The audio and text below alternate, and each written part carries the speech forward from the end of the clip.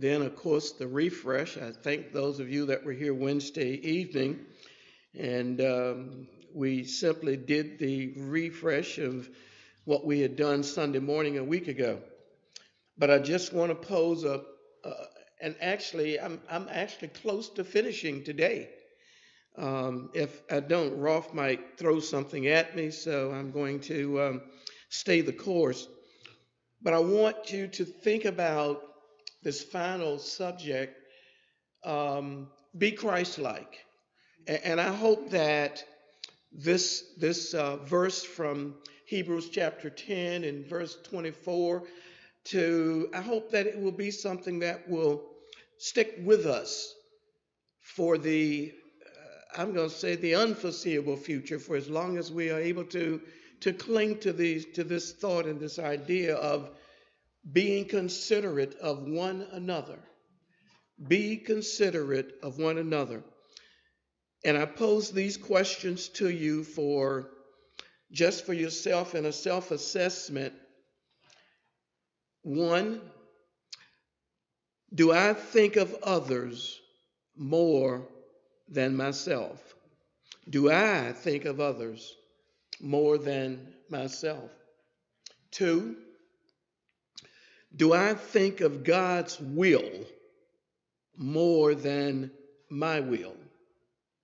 Do I think of God's will more than mine? Three, do I think of ways to stir up love and good works, as the writer of Hebrews is saying to us to do?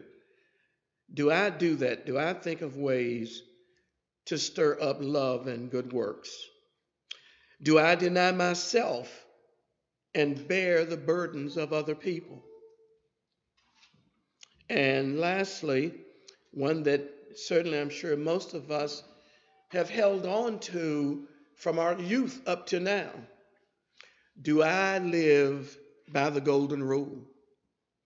Do I do unto others as I would have them or would want them to do to me?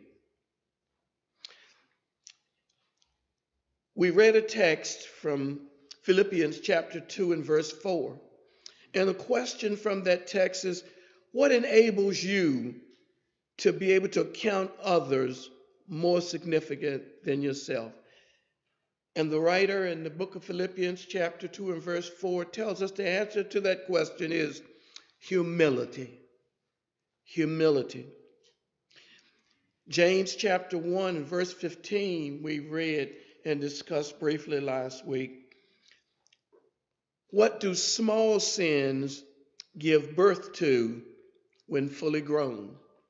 And James tells us the answer to that simply is death.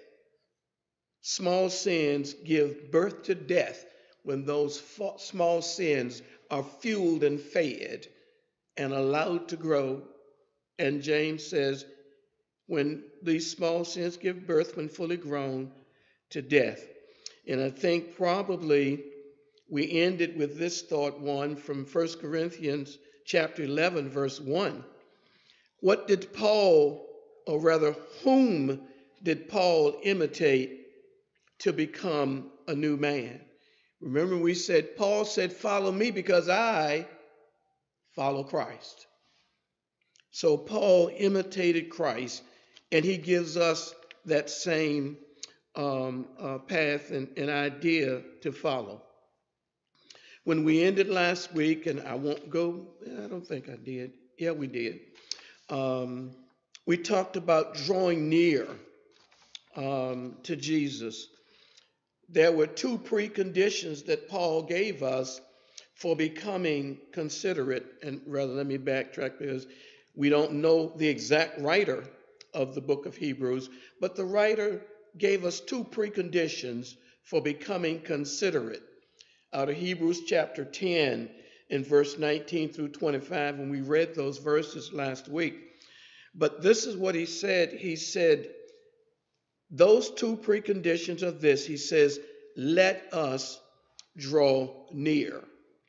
And then he followed that up with saying, not only let us draw near, but he said, let us hold fast to that. And those are the preconditions that he gave for becoming a considerate person. We ended at this point where we'll pick up the motivation. Consider one another, be Christ like. The motivation for this is plain. Jesus said, Whoever will save his life will lose it, but whoever will lose his life will save it. And if anyone understood the, the, the, meaning of these words, it was Saul of Tarsus. We know that Saul went from being the worst to the first. He went from worst to first. Worst enemy of Christ to the leading apostle to the Gentiles. Paul Saul went from hater and persecutor of Christians to lover and imitator of Jesus Christ. Saul's faith in Christ and love for Christ were the difference makers in his life. And if it can do that for Saul in his transformation to Paul, imagine what it can do for you and I. And, and, and, of all the sins in our life, I don't think we could ever live long enough to equate to becoming the title that Paul really gave himself before the transformation to being the chiefest of sinners. All men have sinned. I don't know if there's another uh, uh, title directed to anyone to be the chief of sinners other than Paul giving it to himself. And if if the love of Jesus Christ, love in love for Christ, faith in Christ is the difference for Paul, it can do the same for you and me. According to Jesus, Matthew 25, verse 31 through 36, I won't read all the verses, but in summary, judgment will include a realistic assessment of how considerate you were during your days on earth. The writer of Hebrews concurred with what Jesus said in Matthew 25 31. The writer of Hebrews said in Hebrews chapter 10, verse 24 and 25, which has been the subject of our discussion for the past quarter plus. And let us consider how to stir up one another to love and good works not neglecting to meet together, as is the habit of some, but encouraging one another, and all the more as you see the day drawing near. Ralph Waldo Emerson said this. He said, You cannot do a kindness too soon, for you never know how soon it will be too late. What do you think Emerson was saying there? Don't put off the opportunity to consider one another. Don't put off the opportunity to love and care about the needs of one another. Because if you put it off, you may not get another opportunity. And that lost opportunity we just said, may catch up with you on the day of judgment. If we lift up Christ and fix our eyes on Him, something new and wonderful can happen in our times. Just like Ephesians chapter 1 verse 6 like at the uh, like at Pentecost the blood of Christ and the gospel of peace can bring dying people closer together as Ephesians 1 6 says, to the praise of his glorious grace. In times of stress, people are prone to lash out at their neighbors, their mates, their spouses, or brethren, rather than probe their own hearts. And in times of tension, we may search our hearts for a way forward that will please God. Philippians 2 1 and 2. we may search our hearts for a way forward that will please God, that will honor His word, and bless our fellow man. When feeling pressured, may we elevate Jesus rather than focus on our differences. Christ said, uh, John chapter 12, verse 32, he said, And I, and we know the song all too well. And I, when I am lifted up from the earth, he said, I will draw all people to me. He didn't promise to resolve all of our human differences, but he guaranteed that hearts focused on him will grow, grow closer as a result of our commitment to him. Let us recall Paul's beautiful declaration of the spiritual benefits belonging to those who are in Christ and obedient to Him. Ephesians chapter 1, verse 7 through 10. In Him we have redemption through His blood, the forgiveness of our trespasses according to the riches of His grace, which He lavished upon us in all wisdom and insight making known to us the mystery of his will according to his purpose, which he set forth in Christ as a plan for the fullness of time to unite all things in him, things in heaven and things on earth. Ephesians 1 7 through 10. I summarized the past quarter with this to promote civility and prepare for eternity, may we lift up our Lord. May we proclaim redemption through his blood. May we declare the riches of his grace and may we unite all things in him to the praise of his glorious grace. I'll spend the next few minutes going back over something that we started last week and had t- touched on in the previous weeks to be mindful. Be mindful from this day forward. God's answer to incivility, we've made it clear, is to consider one another. Awareness of others, awareness of their presence, awareness of their feelings, awareness of their needs. This is fundamental to civility in society and to Christlikeness in your soul. We said this before before you can love others, you must see them, you must notice them. You see, sin comes from overlooking others, sin comes from overlooking their presence, sin comes from overlooking their pain. And those who ignore or abuse people, displease God, who made all of us in his image. The Lord filled the Bible with admonitions to be mindful of others. It is striking how many one another passages there are in God's Word.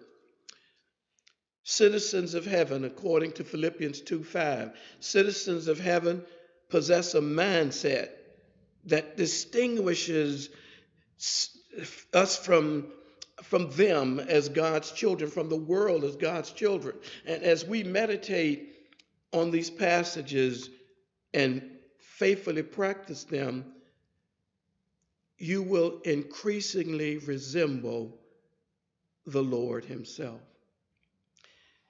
Heaven's antidote to rudeness is simple follow Jesus. The more you walk in his footsteps, the more thoughtful you are. The more thoughtful you are, the kinder you become. And the kinder you become, uh, the more heaven comes to earth. Jude 2 says, May mercy, peace, and love be multiplied to you and through you. Well, how do we do that? We bear with one another. I'll share a few verses, and if you just want to jot the uh, the verse, uh, uh, the book uh, uh, title and, and verse location, that's fine.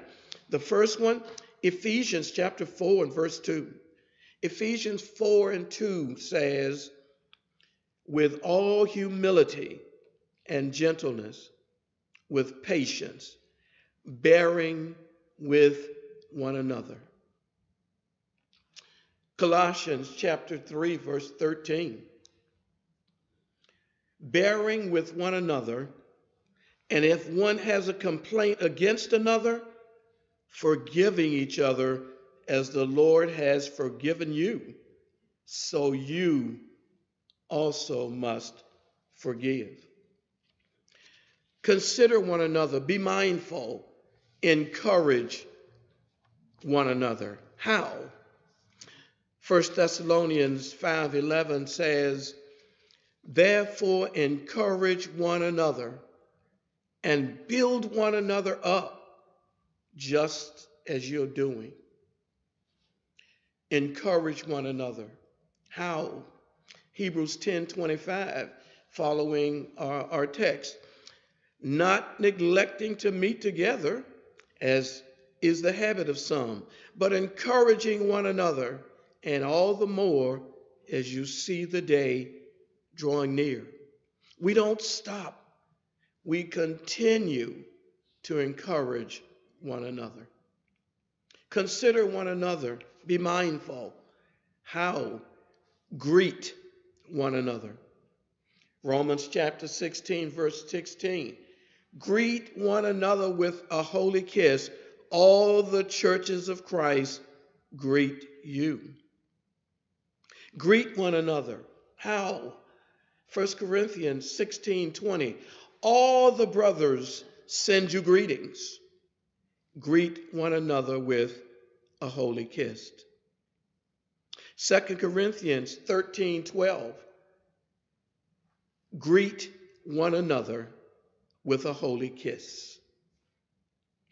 1 Peter 5 14.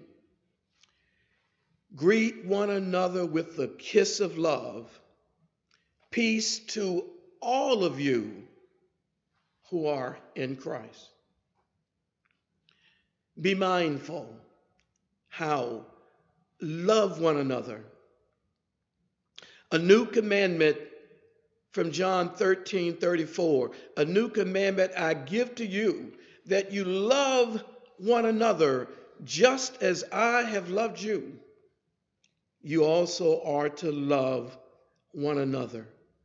And, and, the kind of love that, that's being talked about here is not a kind of sort of love, not a pretend love, not a facade, but the genuine Christ like love. That's how we ought to love one another. John 13 35. By this, all people will know that you are my disciples if you have love for one another. Romans chapter 12, verse 10. Love one another with brotherly affection. Outdo one another in showing honor. A challenge to us. Love one another so much that everybody looks around and wants to make sure that they're keeping up with that degree of love that we ought to have for one another. 1 Peter chapter 1 verse 22 have having purified your souls by your obedience to the truth for a sincere brotherly love love one another earnestly from a pure heart. That's how we ought to do it. 1 John 3 and 11. For this is the message that you have heard from the beginning that we should love one another. Staying in 1 John 3 and moving down to verse 23. And this is his commandment that we believe in the name of his Son Jesus Christ and love one another just as he has commanded us. 1 John 4, verse 7. Beloved, let us love one another, for love is from God. And whoever loves has been born of God and knows God. Be mindful. Be mindful. 1 John 4 and verse 12 tells us that no one has ever seen God. If we love one another, God abides in us, and his love is perfected in us. What are we showing others through us to be the image and reflection and glory of God? Second John chapter 1 and verse 5. And now I ask you, dear lady, not as though I were writing you a new commandment, but the one we have had from the beginning, that we love one another. There are also some negative one another passages. James chapter 4, verse 11. Do not speak evil against one another, brothers. The one who speaks against his brother or judges his brother speaks evil against the law and judges the law. But if you judge the law, you are not a doer of the law, but a judge. James 4 11. Romans 14, verse 13. Therefore, let us not pass judgment on one another any longer, he says, but rather decide never to put a stumbling block or hindrance in the way of a brother. I'm glad that there's not a whole list of negative verses, if you would, uh, negative one another passages. But here's a couple of miscellaneous uh, ones, and we'll close out after this. John 13 and 14. If I, then, your Lord and teacher, have washed your feet, you also ought to wash one another's feet. John 13, 14. Romans 12, 16 tells us, live in harmony with one another. Do not be haughty, but associate with the lowly. Never be wise in your own sight, but live in harmony with one another. Romans chapter 15, verse 7 Therefore, welcome one another as Christ has welcomed you for the glory of God. Galatians 5:13 For you were called to freedom, brothers. Only do not use your freedom as an opportunity for the flesh, but through love serve one another. Ephesians 4 and 32. Be kind to one another, tenderhearted, forgiving one another as God in Christ forgave you. Ephesians 5 19. addressing one another in psalms and hymns and spiritual songs, singing and making melody to the Lord with your heart. Ephesians 5 21. Submitting to one another out of reverence for Christ. Colossians 3:16 Let the word of Christ dwell in you richly, teaching and admonishing one another in all wisdom, singing psalms, psalms and hymns and spiritual psalms with thankfulness in your hearts to God. Colossians 3 16. Hebrews 3 13. But exhort one another every day, as long as it is called today, that none of you may be hardened by the deceitfulness of sin. 1 Peter 4 9. Show hospitality to one another without grumbling or complaining. Be considerate of one another. 1 Peter 5 5. Likewise, you who are younger, be subject to the elders.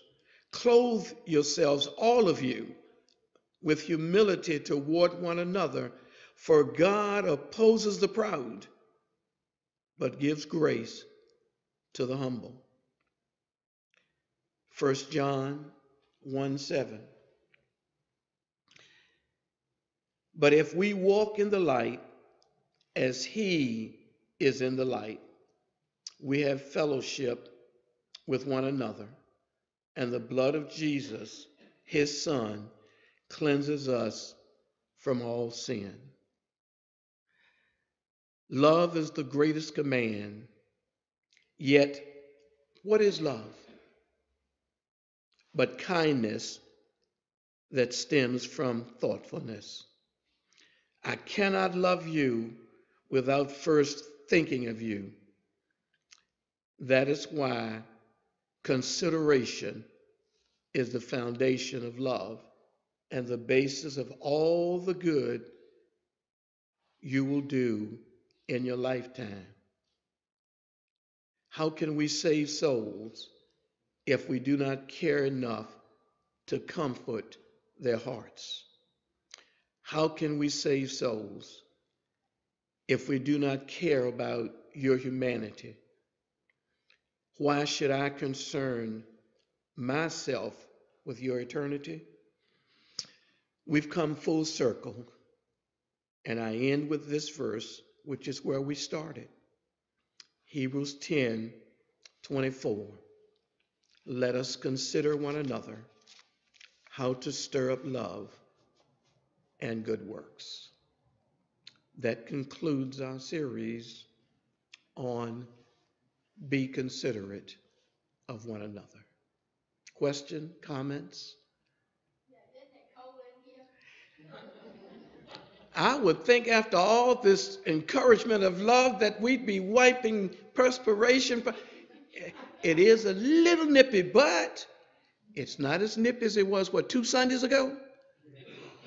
I think the thermostats, the computerized thermostats, had a mind of their own and would not let us override them. Sometimes we need to go back to old school, don't we? Okay. Um, I have thoroughly enjoyed this, and I've certainly appreciated your participation and, and your comments. Um, yes. I can't speak for anybody else, but I know since we've been going through this uh, series of lessons, and I've been putting it into practice, you'd just be amazed the dividends that it pays back to you. Absolutely. We do these things, but we just don't have the consciousness that we're doing it. And with this, the hope is that we be more conscious about it. And actually, I actually missed my closing thought. David, thank you for that. And I actually highlighted it in orange, and this is what it says How do you, including me, you out there who are watching us uh, either on Facebook or YouTube, how do you increase empathy on the earth? Simple answer. One thoughtful person act of kindness at a time. Just one. I often say to people who have challenges in their life that are overwhelming, and I say, what is the best way to eat the elephant that is blocking your path to getting where you need to be? You can't shove him out the way. To make it easier, it's a chocolate elephant. How do you get him out the way, y'all? One bite at a time.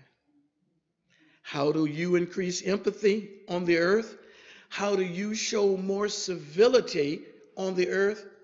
One thoughtful act or person at a time. Rolf, how much time do we have left for you? Hmm, a little bit?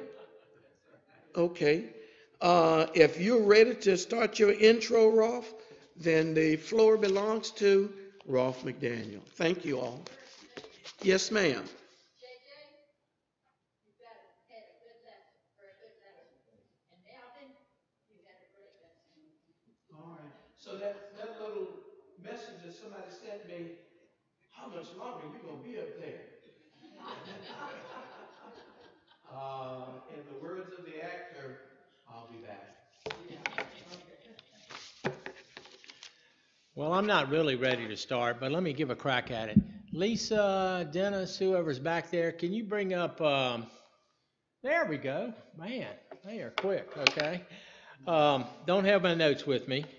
I wasn't sure what Melvin's timing would be this morning, but, uh, next Sunday morning, we will, uh, begin a, are you gonna bring me one of those, Lisa? Okay. See if I can stumble through it. Um, we finish at twelve fifteen, don't we? I think, so we've got a little time left.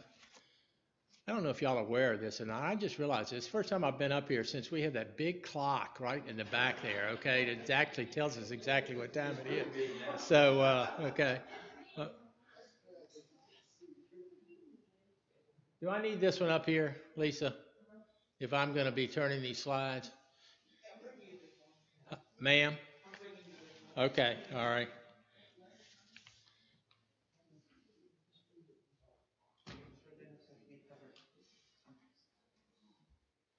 All right, so I go through this one at a time, okay? I was prepared to say this, uh, oh, I gotta stand right next to the mic.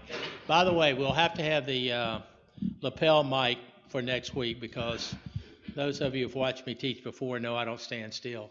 So, um, so I'll need the lapel mic, but I'll try to stand still right in front of this, uh, this mic, uh, this morning. Again, don't have my notes with me, wasn't sure exactly when Melvin would finish this morning, but let's take a crack at it. Next, um, Sunday morning, we'll begin a lesson um, in Proverbs. And this is in my notes uh, for next week, so I'll probably repeat it again. For years, um, literally years, I have wanted to teach uh, a series from the book of Proverbs. Actually, I've wanted to teach uh, the book of Proverbs and the book of Psalms. But quite frank, frankly, I couldn't figure out how to do it. Uh, neither Proverbs nor Psalms, and we're going to be considered um, neither Proverbs nor the book of Psalms, uh, and we're going to be considering Psalms, uh, excuse me, Proverbs, um, lends itself very well to an expository study. And I think I'm using the right word. I think expository means verse by verse. I believe it does. And the book of Proverbs does not lend itself very well to a verse by verse study. Uh, there's a lot of one liners in the book of Proverbs, if you will, a lot of statements about wisdom. That's really what the book of Proverbs is essentially about. Um, uh, there's very little in paragraph form or narrative form. So again, it doesn't lend itself well to uh, a verse by verse study at all. It's hard to um, put together a study, I think, from the book of Proverbs. I'll just ask anyone in the audience. Um, many of you have been in the church for a long, long time. You've, of course, heard many times verses quoted from the book of Proverbs. Proverbs this, Proverbs that, Proverbs on and on, particular verses. I'll ask you, have you ever sit, sat in a study on the book of Proverbs? Anyone? Well, I haven't either. I've been in the church for 50 years. And to the best of my knowledge, I do not ever remember sitting in a study on the book of Proverbs. And I think it's because of the things that I just did, said, that it doesn't lend itself, it lends itself very well to quoting certain verses that teach us things, that teach us wisdom about things, that teach us God's wisdom about things. But it doesn't lend itself very well to a 13 or 15 or 18 or 20 week um, study. But recently, uh, actually about a year ago, I came across a book written by Brother Tommy South. Uh, Tommy, Brother South, of course, has spoken here many times through the years. He's the preacher now for the Glen Allen Church of Christ. Um, Tommy is a, a remarkable speaker, uh, just a talented speaker. Uh, he's also a talented writer. I've used his books. This is probably a third of his books that I've used in teachings, at least a third. It might be the fourth of his books that I've used in teaching classes. The Lord's blessed him with the ability to write very well. He's used that ability as he should have. Um, and Tommy uh, recently wrote a book on on the book of Proverbs. Uh, so I was able to get that. I've read through that, and I said, okay, I think this is it. This is how I can teach the book of Proverbs. Um, the and we're going to title the series this, if I can do this. By the way, I was prepared to say this next week. This will be my second time uh, using these things right here, so it'll take me a little while to get used to one of these tablets or whatever, but maybe over time I can. Um, uh, and you can see it right there. I must have, I didn't really mean to hit it, but evidently I hit it. We're going to title the series, uh, Don't Be Dumb. Okay? That's going to be the title of our series, all right? Did I offend anybody already? Okay, all right. Well, maybe not, but I think that in our politically correct world, in our sensitive world today, uh, uh, in our sensitive culture of today, where you have to be careful about every single word you say, or you're likely to offend someone, I imagine I would offend someone by this title right here Don't Be Dumb. Well, essentially, brethren, that's what the book of Proverbs is about, okay? As it addresses those of us who are followers of the one and only God, the creator of all things, as it addresses those of us who are Christians, it is addressing us not in a, it does, there's no verse, do not misunderstand what I'm saying. There's no verse in Proverbs that says, don't be dumb, okay? At least I don't believe there is. There are a couple verses that are close, I can tell you that, okay? Saying, don't be foolish. Matter of fact, what's, what's someone who is named in the book of Proverbs? One of the characters of the book of Proverbs. Our second lesson will be not the first lesson. The first lesson will be this introduction, which I'm beginning right now. Um, and we'll have to repeat it again next week. But what? But uh, the second lesson will be about the list of characters in the book of Proverbs. And there's one character in Proverbs that has to do with don't be dumb. Can anybody tell me who it is? Yes, sir. Exactly. Okay. in that book of Proverbs, over and over again, it addresses the fool. Okay. And it says, don't be a fool. Okay. In other words, don't be dumb. Okay. Now, again, I'll repeat this again next week, but uh, and over and over again in, in my study. Unless I see, I told you I'd walk away from that microphone. Okay, I can't stand still and teach. All right, the um, um, over and over again in our study, I'll ask you not to be offended because we're going to say, "Don't be dumb." Okay, all right. In other words, show some wisdom. All right, because again, that's what the book of Proverbs is about. All right. Uh, the next slide says the wisdom of Proverbs for today um, gentleman by the name of Hal David. I actually think it was Hal David and Burt Bacharach. Okay, now there are some people sitting in the audience this morning that are as old as I am. I'm looking at you, okay? All right? And if you're not as old as I am, you're pretty close to my age. So let's see who knows who Hal David and Burt Bacharach were. Okay? Anybody? Know who Hal David and Burt Bacharach were? Uh, not exactly musicians, okay? Well, they might have been musicians, but that's not really what they were famous for. Kyle, you should know. They were songwriters. That's exactly right. They were songwriters out of the 60s primarily. Now, they might have been 50s, 60s. se- I'm sure they continued to 70s and 80s. Kyle probably knows more than that than I do. In my personal opinion, there hasn't been any music made after December 31st of 1969, but that's just my opinion, okay? All right.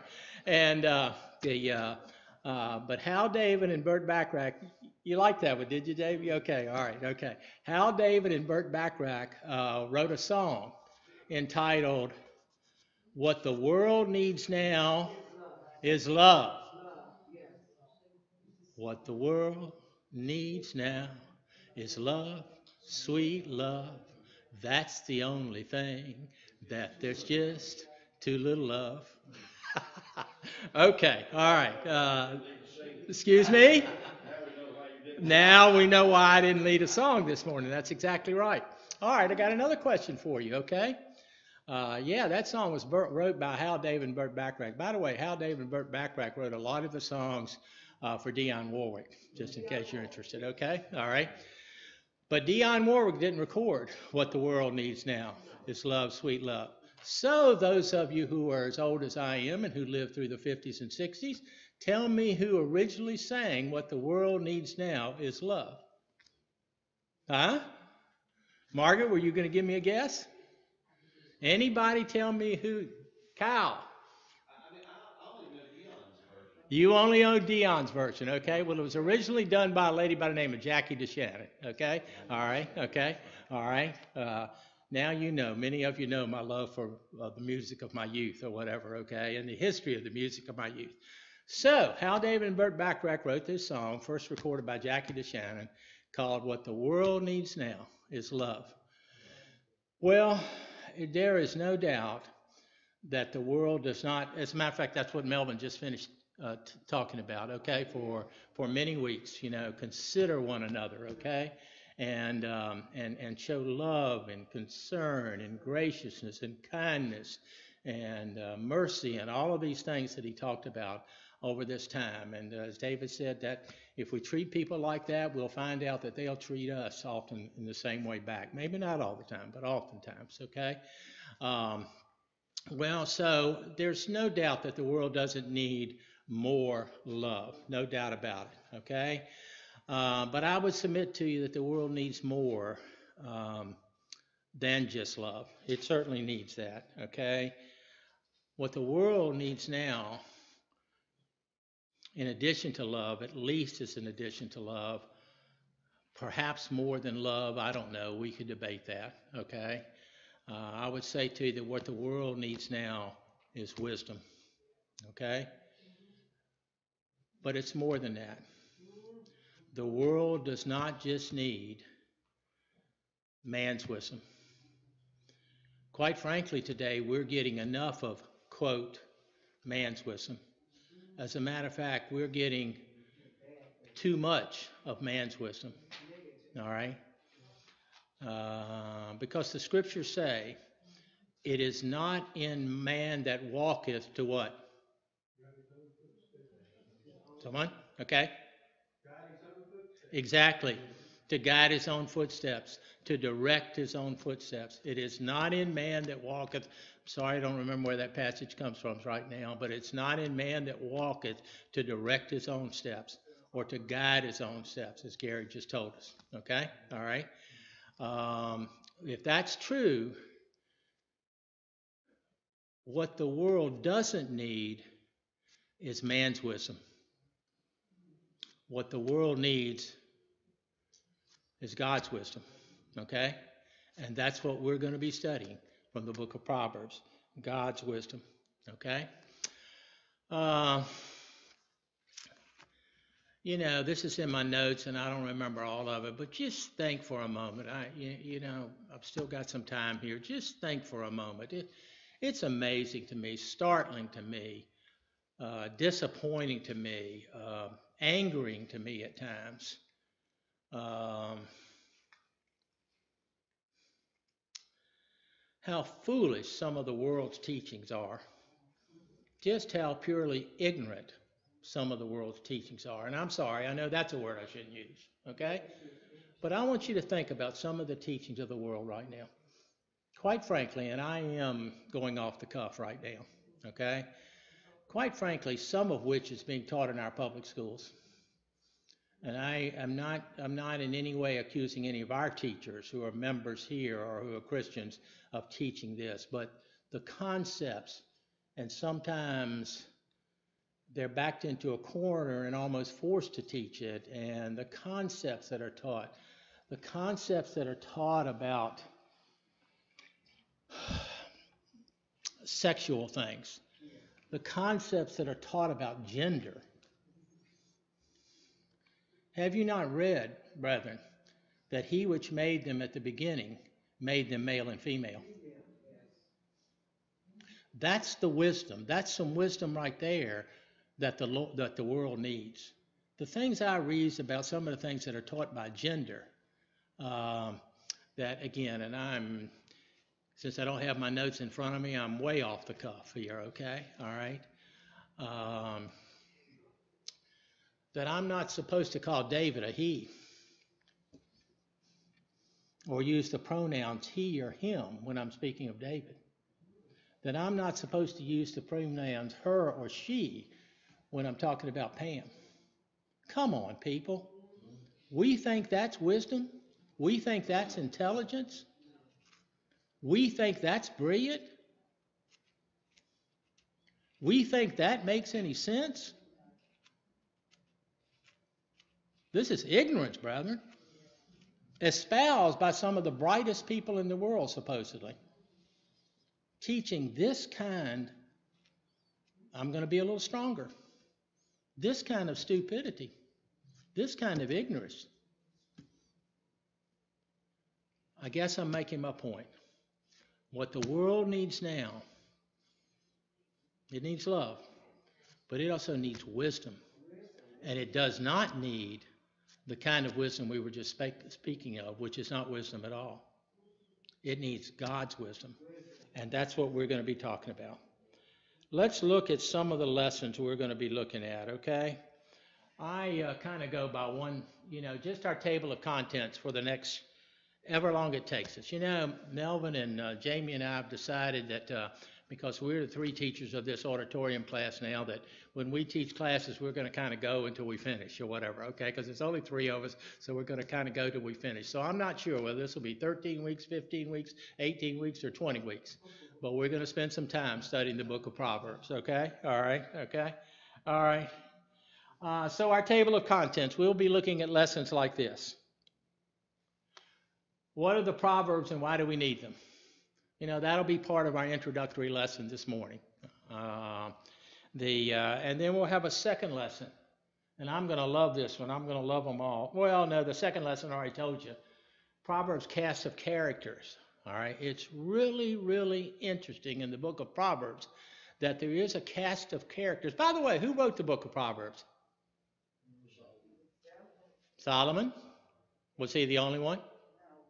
No, he really wasn't. We think of Solomon, we think of Proverbs as written by Solomon, and that's correct. Many and perhaps most of the of the book of Proverbs was written written by Solomon, but not all of it was written by Solomon. Okay? There are other authors to the book of, of Proverbs, and we'll talk about that, okay? And in talking about that, we will list this cast of characters that kind of gives the the Proverbs, and I'm not going to remember of all of them. One of them I've already told you is the fool. Can any of you think of an, other characters that are named in the book of Proverbs? Other characters, both positives and negative. There's some, you know, some characters that we would consider positive uh, uh, delineations or names for these folks, and then some negative ones. I mean, you know, fool's not a positive thing, okay? All right. Excuse me? Exactly.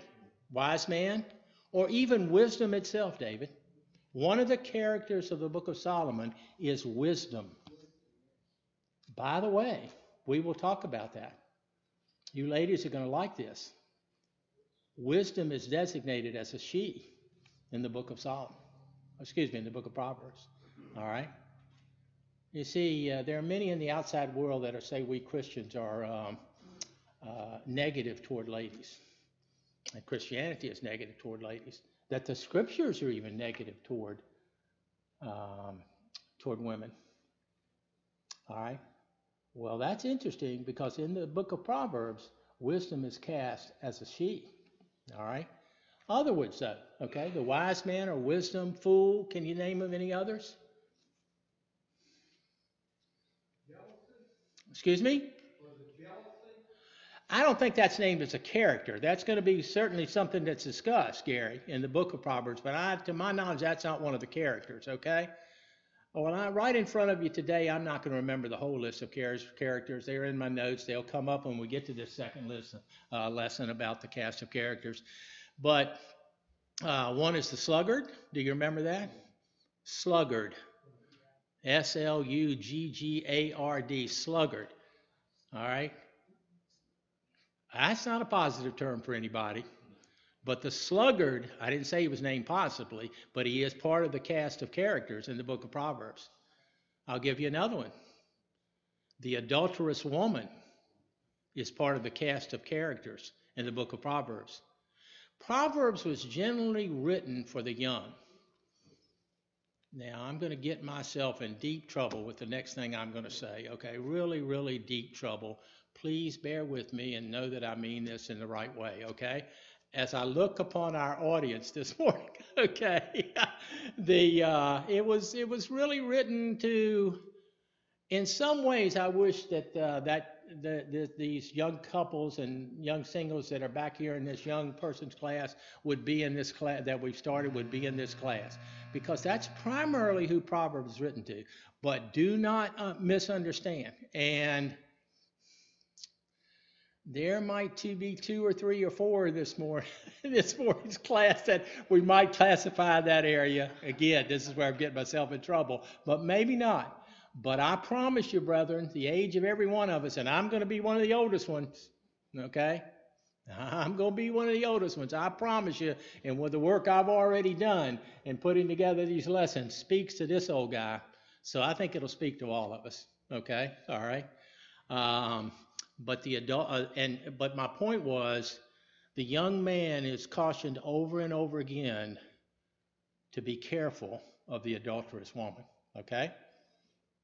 Now, ladies, I think that lends itself to the young lady being careful of the adulterous man too. But the adulterous woman is a character in the book of Proverbs. Okay. Let's keep going. Okay. Let's see if we can finish up. I only have five minutes. Maybe we can get through the lessons we're going to consider in there.